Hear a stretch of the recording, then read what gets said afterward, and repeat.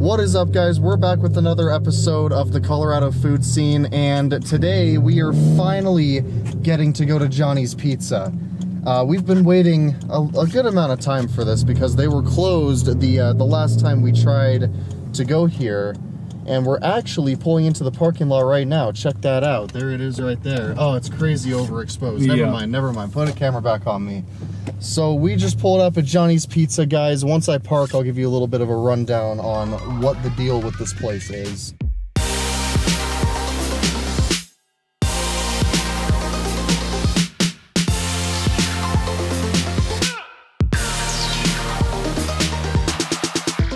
There it is right there, guys. Johnny's New York Pizza. For the longest time, this place has been a family favorite of my family and pretty much all of our family friends.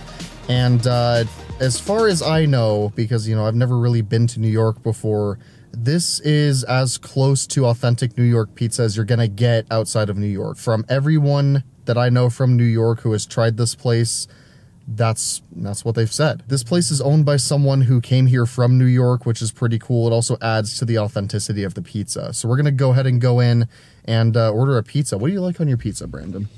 I like to keep it simple. I just like pepperoni. Pepperoni, all right, fair. I, I usually like to go for a cheese pizza, but we can do half and half. You know, Yeah, that's fine. We can get half cheese, half pepperoni. So we're gonna go ahead, go in there, and grab ourselves some pizza. This is Johnny's Pizza, guys. What do you What do you think? What do you think of the vibe? I like it. You like it? It's nice and quiet. It's not too loud. Yeah, it's nice if there's like no one here too. Yeah, it's nice and pleasant. Look at that pizza, guys.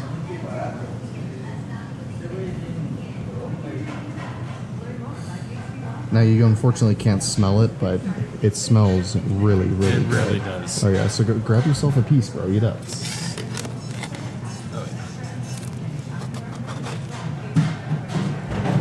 Look at that gooey cheese. Oh, buddy.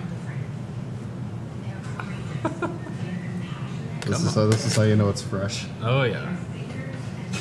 Deliciousness. There we go. Look at that.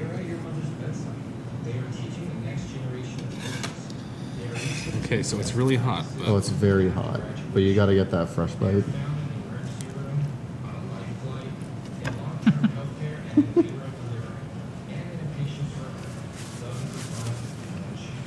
Dude.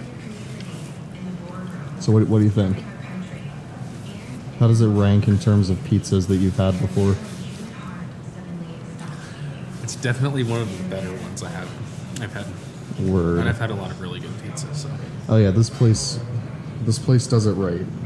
Like, the camera doesn't even do it justice. But look at that